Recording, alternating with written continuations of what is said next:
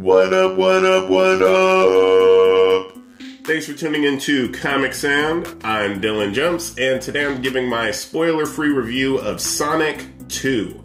Uh, right from the jump, I just want to say that I thoroughly enjoyed this movie.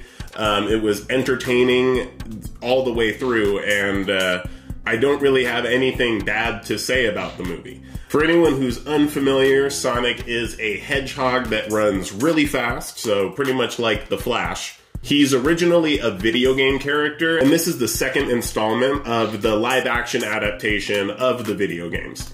And so in this movie, we are introduced to Tails, which is the longtime ally of Sonic in the comics. We're also introduced to Knuckles, who has been an antagonist in the Sonic video games as well as an ally at times.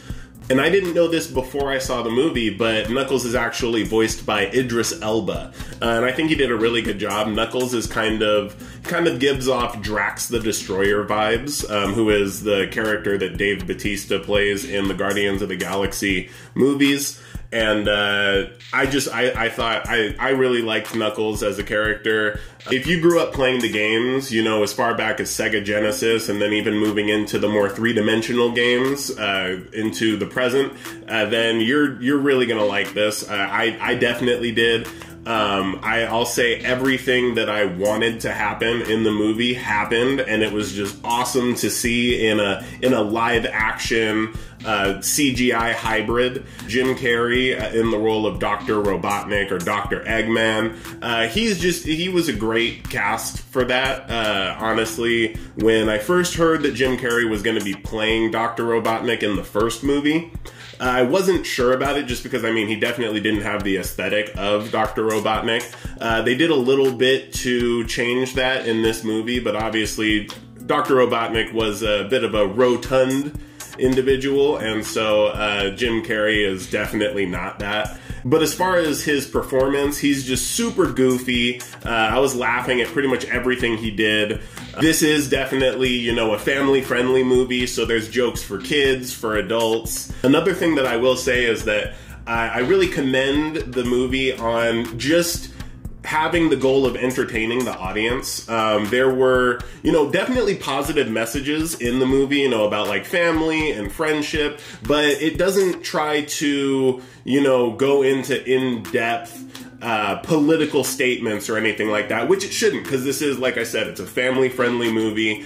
You know, people go to these movies because they simply just want to be entertained. These movies are perfect in that they just, you go to the movie, especially for people who want to be nostalgic about playing these games back when they were younger, and then also maybe if they've got children, uh, kind of live in that nostalgia with them. Uh, all, all they all they're looking for is a, an entertaining story, and this this was it was just entertaining, and the action in the movie is done really well. Uh, keeping with the theme of the Sonic video games, you know, the movies, there's a lot of flashiness, explosions, you know, super speed and, and lights and sounds and whatnot. And so uh, there were not any dull moments and it wasn't overdone either. Um, it was always, every, everything always had a purpose and they didn't have to rely so heavily on the CGI effects uh, except for when their main characters were concerned, because obviously their main characters are CGI creatures.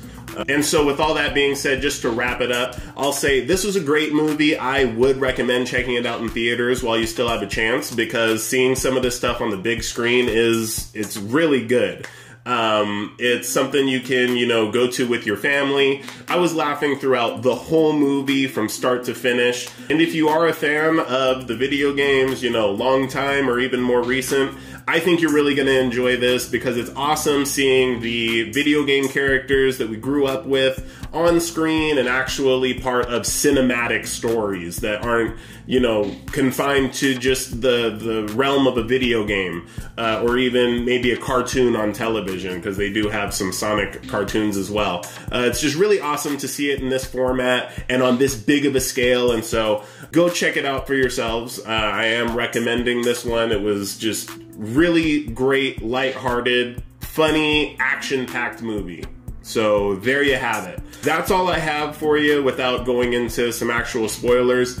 actually, one last thing for the people who, you know, care about this, there is a mid-credit scene. So once the credits initially start, uh, wait a little bit and then you'll get a mid-credit scene. But then once that scene is over and the regular scrolling white credits come on, uh, there is no scenes after that. So there's no complete post-credit scene, but there is a mid-credit scene and I will say it is exciting. If you'll remember back to the first Sonic movie, if you watched it, the mid-credit scene or post-credit, I think it was just a mid-credit scene, introduced Tails, and that's how we knew that he was going to be in the next Sonic movie. This mid-credit scene is even more mind-blowing than that one, in my opinion. Wait for that, and then once that scene is over, you can just...